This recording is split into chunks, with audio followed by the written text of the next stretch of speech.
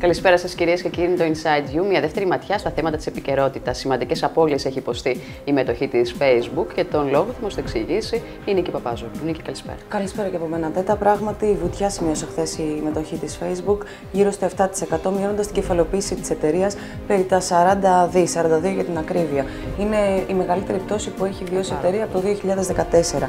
Για να ταράξει όλες αυτές, βέβαια, ήταν και μεταδοτικές ένα ντόμινο πτωτικό ε, βιώσαμε χθες σε όλη τη Wall Street με τον Dow Jones να σημειώνει πτώση 335 μονάδων, ενώ ο Nasdaq να υποχωρεί κατά 1,84%.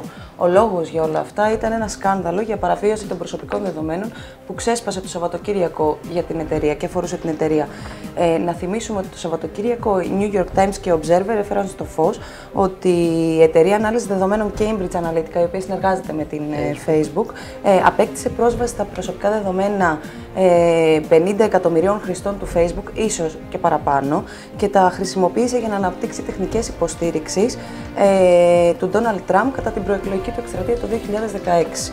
Ε, όλο αυτό βέβαια αποκτά ακόμα μεγαλύτερη αξία. Αν σκεφτεί κανείς ότι τα 50 εκατομμύρια προφίλ του Facebook αντιπροσωπεύουν το 1 τρίτο των ενεργών βορειοαμερικανών χρηστών του. Με μένα μου ακούγεται τεράστιο. Είναι τεράστιο και... το ποσοστό. Σχεδόν yeah. Ναι. το 1 τέταρτο των ενδυνάμει ψηφοφόρων τον είπα.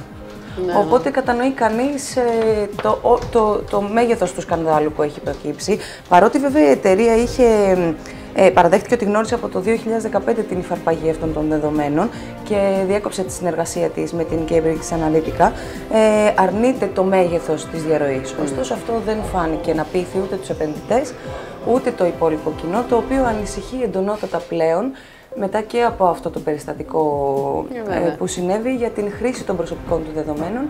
Γι' αυτό καλό θα ήταν, ε, πολλοί είναι αυτοί που λένε ότι καλό θα ήταν να προσέχουμε τι καταχωρούμε, πού καταχωρούμε και σε ένα μέσο το οποίο χρησιμοποιείται ευρύτατα.